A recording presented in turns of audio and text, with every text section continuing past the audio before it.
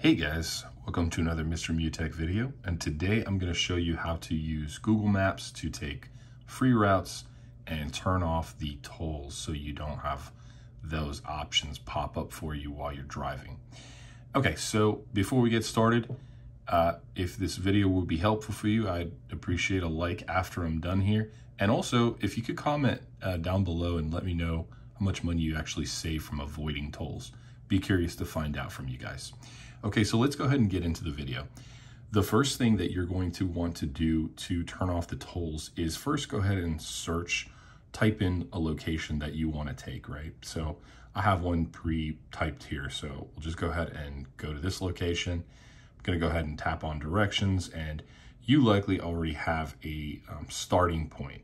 So if you don't, you tap here, go ahead and add your starting point. I have a home location that I just set here randomly and then you have your directions ready to go, right? So in the top right corner, you're gonna notice three dots here. And this works for Android and iPhone. It doesn't matter, it's, it's you're both, you're gonna see the dots on both devices. You're gonna notice an option here for route, right? So route options or just options. You're gonna tap on that and then you're gonna notice that there's an option here to turn on or off to avoid tolls. So you're gonna wanna have that to on to avoid tolls.